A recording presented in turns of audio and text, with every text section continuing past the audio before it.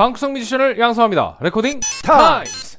네. 네. 왼쪽 씨 오늘도 머리랑 티를 깔맞춤을 하셨네요. 그렇습니다. 바지도. 네. 바지 다 파래 뭐 이렇게 네. 전반적으로 파랗고 초록색이 네. 감도는 네. 왼쪽 씨 아주 어, 봄과 같은 그런 패션을 오늘 하고 오셨지만 날이 굉장히 추웠죠. 그렇습니다. 저희가 전부 패딩을 입고 다니고 있는 지금 그런 날씨입니다. 그렇습니다. 자, 겨울에도 Recording Times는 계속됩니다. 저희 Recording Times가 사실 워낙에 기기를 많이 사용하기 때문에 여름에 진짜 너무너무 더운데 요즘 알맞죠? 네, 요즘 딱 좋아요. 그렇습니다. 요즘은 딱히 사실 난방이 필요 없을 정도로 음. 그냥 딱 좋습니다. 그렇습니다. 그래서 겨울에 쾌적한 Recording Times 그렇습니다. 오늘도 진행을 해보겠습니다. 오늘 여러분들이 아주 좋아하는 기어 중에 하나죠. Apollo입니다. Apollo. 그렇습니다. 네, Universal Audio를 저희가 아폴로 전에 어, 오늘 할 Apollo Twin X 전에 뭐를 했는지 미리 말씀을 드리면은 네. 트윈 어, 아폴로 트윈 마크 2 듀오랑 에로우랑 아폴로 X6를 했었는데 저희가 Arrow 할 때 둘 다 약간 꽂혀가지고 야 이거 너무 괜찮다. 음. 그래서 그걸 구매를 막 고려를 하다가 아니야 아. 아무래도 이 세대가 나온 지가 음. 좀 됐기 때문에 그렇죠. 분명히 조금만 지나면은 막 3세대 쏟아져 나오고 이럴 건데 우리가 지금 Arrow를 사는 건 약간 시기적으로 아쉬울 음. 수가 있다. 애매할 수 네, 있다. 뭐 그런 것 때문에 저희가 뭐 구매를 살짝 망설였는데 물론 그런 거에 대한 크게 뭐 집착이 없는 사람 나는 늘 early adopter야 하고 가장 최신 세대를 써야 한다 이런 게 아니면 충분히 좋은 인터페이스이긴 합니다만 계속해서 요새 신제품들이 쏟아져 나오고 있기 때문에 음. 아무래도 그런 쪽으로 가는 게 조금 더 어, 장기적으로 봤을 때 좋은 선택이지 않을까라는 생각이 듭니다. 그래서 모든 기계는 그렇죠. 나왔을 때 가장 최신형을 사는 게 맞아요. 제일 좋은 것 같아요. 괜히 드라이버를 네. 뭐 최신으로 뭐 유지하라고 그렇죠, 하겠습니까? 그렇죠. 네. 맞습니다. 기술적인 어떤 지원을 받기 위한 최적화되어 있는 그런 기어들을 쓰기 위해서 이제는 어, Universal Audio도 좀 3세대로 넘어가야 하는 타이밍이 아닌가. 그렇습니다. 그런 의미에서 저희가 요새 대대적인 업그레이드가 있었어요. 자, 여러분 이거 저희 새 새 MacBook입니다. 새로 샀어요. 네, 오늘 왔어요. 오늘. 오늘 왔어요. 저희가 기존에 있었던 그 MacBook이 음. 저기가 안 되는 관계로 그, 그 Thunderbolt 저기 가 안 되는 네, 관계로 저기가 안 되는 관계로 저희가 진짜 그 Thunderbolt 때문에 고생을 계속했었잖아요. 그렇습니다. 근데 아. 이제 요새 나오는 악기들을 저희가 그 MacBook으로 도저히 따라갈 수가 없어가지고 일단 하드 용량이 작은 건 둘째 치고 이 Thunderbolt 3하고의 그 궁합이 너무 안 맞아갖고 그쵸, 이게 방법이 없었어요. 아, 뭐 사실 제일 크게 처음에 왔던 음. 그 위기는 용량이었는데. 그죠, 용량이었는데. 근데 이제 리뷰를 하면서 이제 처음에는 별 탈 없이 가다가, 음. 어? 이게 왜 안 되지?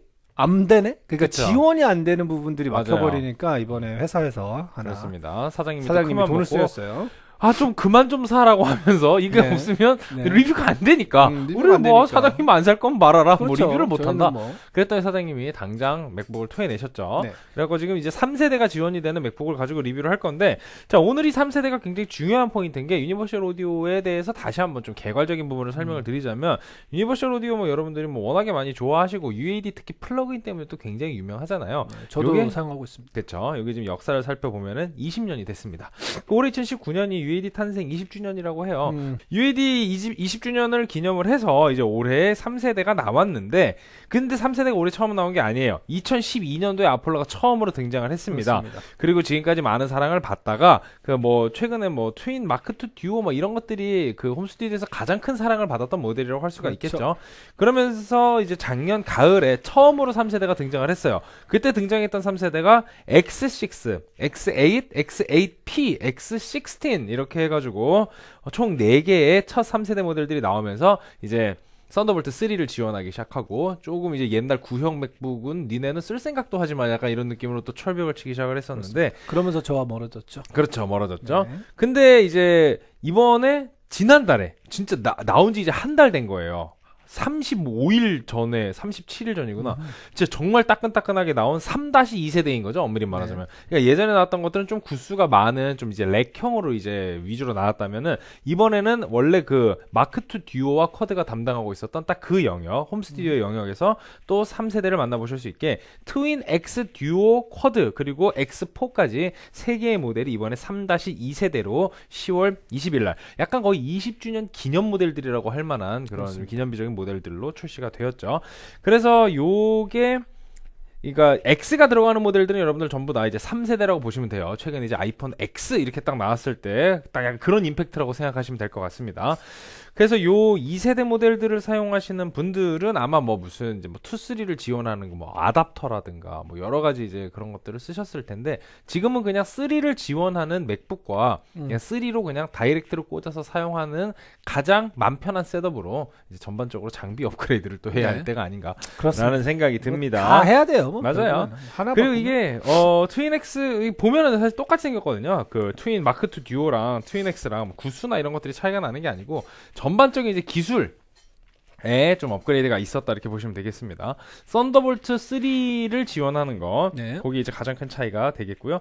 그다음에 dynamic range 자체가 원래는 그 Twin Mark 2 Duo 같은 경우에는 음, 115가 나왔어요. DA 음. 컨버터가. 물론 DA 컨버터 115 상당히 훌륭한 네, dynamic range를 갖고 있는 건데 이게 이번에 rack 등급의 컨버터로 이번에 Twin X까지 채택이 되면서 115였던 DA dynamic range가 127까지 늘었습니다. 음, 많이 올라가네. 그래서 엄청 127이면은 지금 뭐 거의 이쪽 한 100만 원 초반대에서는 끝판이죠. 음. 네, 최고의 다이나믹 그쵸. range를 볼 수가 있습니다. Antelope가 130이었으니까 저희가 132짜리를 네. 지금 쓰고 아, 있고요. 아, 32. 네, 32.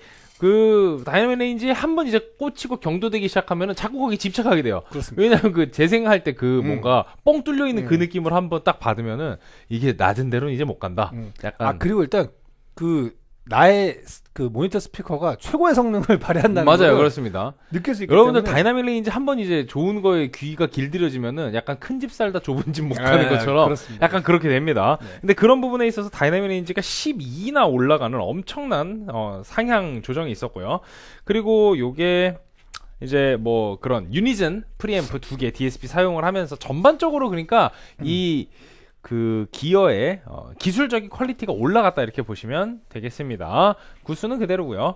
자 그러면은 오늘 저희가 이제 트윈 X 듀오를 할 거고요. 음. Duo 가격이 지금 120만 원 정도 하네요. 네. 그리고 Quad는 이제 DSP 요 이제 CPU의 개수인 건데 연산에 좀 속도 차이가 있겠죠. 그래서 뭐 플러그인 같은 것도 훨씬 더 한꺼번에 많이 걸어놓고 쓰실 수 있고 그래서 요거는 180 정도 한 60만 원 정도 차이가 납니다. 약 1.5배의 가격대를 갖고 있다 이렇게 생각하시면 되겠어요. 그리고 아폴로 다음 시간에 할 X4 같은 경우에는 이제 230 여기서 가격이 확 올라가서 음. 저희가 산 모델이랑 그 Discrete Eight이랑 가격은 거의 비슷해요. 하지만 dynamic range는 저기 저희가 네. 훨씬 더 네, 훨씬까지는 아니지만 네, 네. 근데 뭐 저는 훨씬 살짝. 더 높, 믿겠습니다. 네, 이게 거의 뭐 자기 기어 리뷰 같은 식으로 되면 어쨌든 어, 그렇게 Apollo X4하고는 다음 시간에 저희가 실제 수, 어, 수치를 좀 비교를 해드리도록 할게요. 네네네. 자, 요게 좀 충격적인 게 여러분 아시죠? Thunderbolt 3 이런 거 동봉 안 돼 있습니다. 다 따로 사야 되는 게 아. 거의 뭐 뭐랄까 요즘 너무 정없이 그 판매 정책이 나와 있는데 아니 이게 요즘에 좀 이해가 안 되는 게 그 뭐 음. 오디오 인터페이스도 마찬가지고 음. 어떤 기기를 샀을 때 거기에 대한 부속품이 잘 안 그러니까. 들어 있어요. 아니 이거 진짜 요새 야 이 맥 너무한 거 음, 아니야? 그러니까, 막 진짜. 이런 말이 절로 나올 정도로 음. Thunderbolt 3 케이블은요 여러분 0.8m짜리 기본 번들 아 번들이 아니지 제공이 되는 게 아니니까 네, 네 0.8m짜리 그냥 Thunderbolt 3가 49,000원이고요.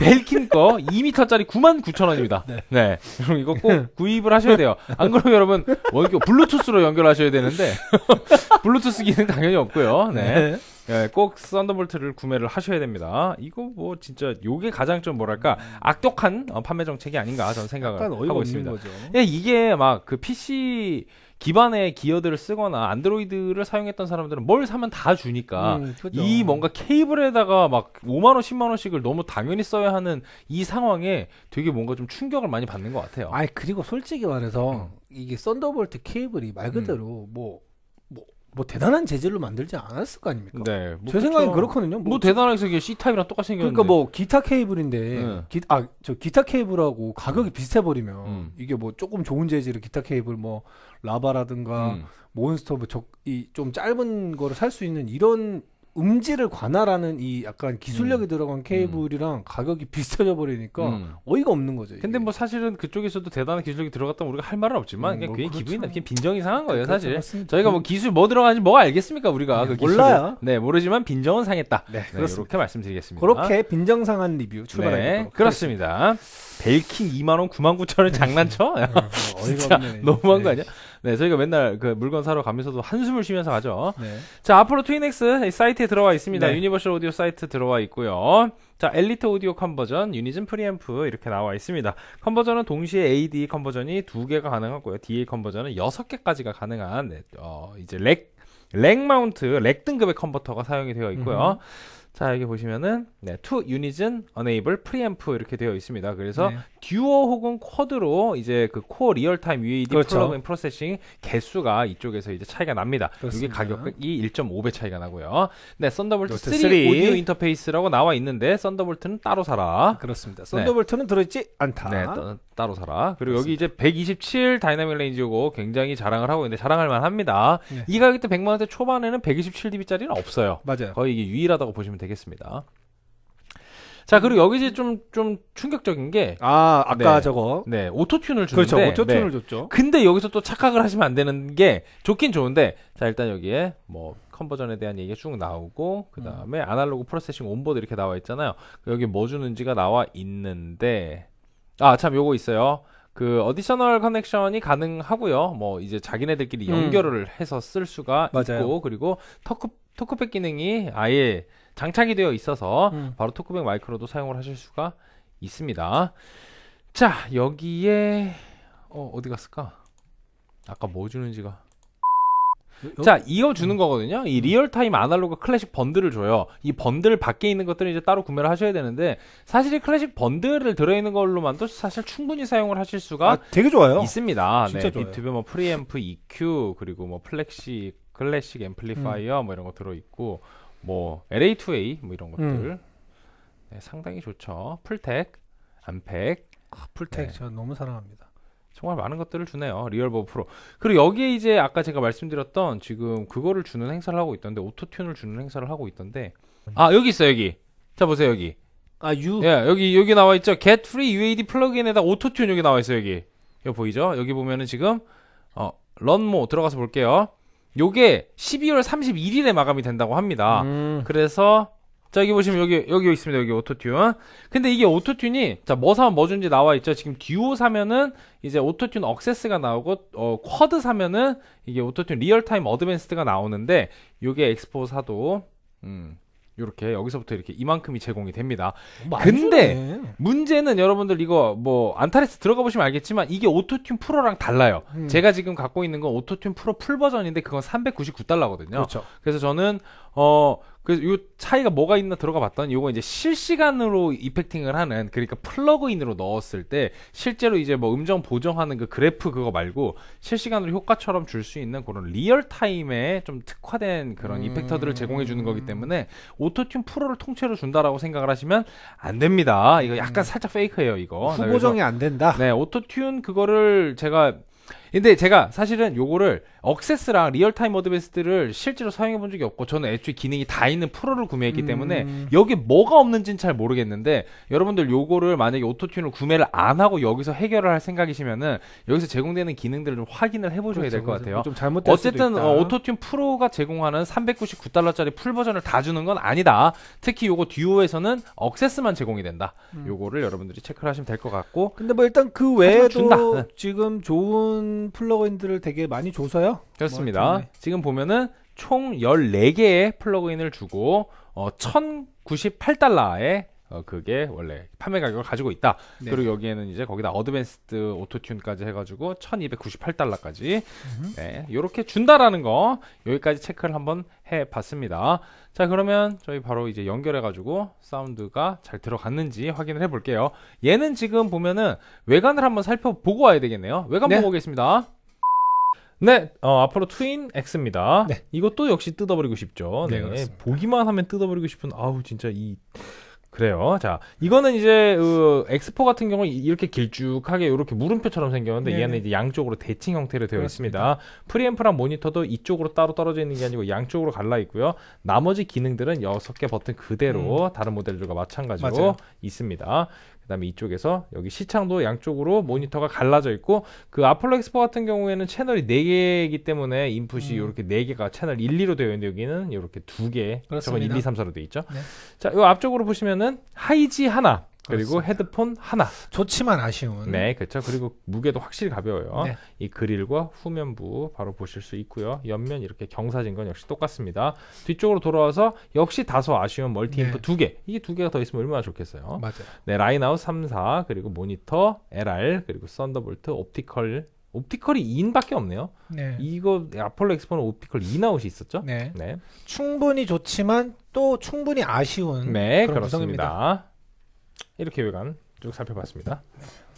네, 어, 사이트에서 지금 연결 잘 됐는지 일단 확인해 볼게요. 일단은 Mac에 Mac으로 연결했고요. 네. 자, Apple의 시스템 환경 설정에 가서 일단 컴퓨터에 잡혔는지 한번 볼게요. 그렇습니다. 네, 여기 어디 싸- 새 Mac은 말을 잘 듣고 있나요? 네, 잘 듣고 있죠. 네. 사운드에 가시면 일단은 지금 어, 맥 자체에 지금 잡힌 게 보이시죠? 음. 이렇게 지금 이런 식으로 선. 근데 뭐 연결 지금 지금 맥 자체에서는 일단 연결을 안 했어요. 그러니까 지금 DAW에서는 잡았는데 음. 일단 요것도 다 바꿔줄게요. 자 잡혔죠, 그죠? 오케이. 그렇습니다. 그리고 아 그리고 저도 아까 저기 좀 당황했었는데 이게 저도 새 맥북을 오랜만에 음. 쓰다 보니까 여러분들 이거 UAD 처음 연결하시고 나서 어 이거 왜 안 잡히지? 음. 좀 당황하실 수 있어요. 그때 이제 여러분 보안 및 개인정보 가셔가지고 누르시면 지금은 여기가 지금 안, 안 뜨는데 음. 그 새로운 걸 연결했을 때 여기 허용이라는 여기 요 딱 요 자리에 문구가 뜹니다. 그럼 이제. 누르면은 음.